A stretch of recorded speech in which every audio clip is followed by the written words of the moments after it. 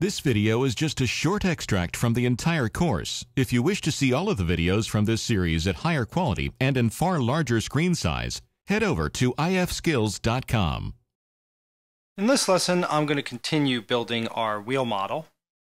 I'm going to do some layer organization here just to make things easier as we continue working. So I'll right click on the layer name, choose rename, and call this the rim cross section.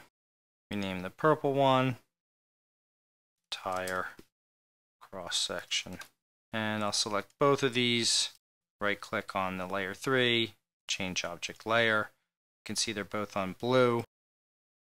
We'll rename this to rim ref for reference. Now I'm going to create two surfaces, the rim and the tire. So I'm going to set some names here and here, rim surf and tire surf. Set this as the current layer and we can now use the revolve command to create our rim surface.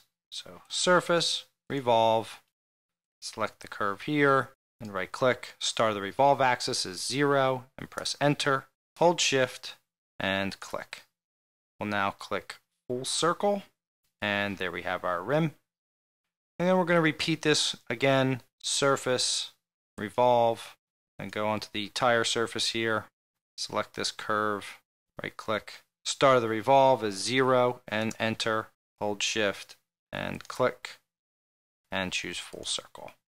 So you can start to see our wheel is taking shape.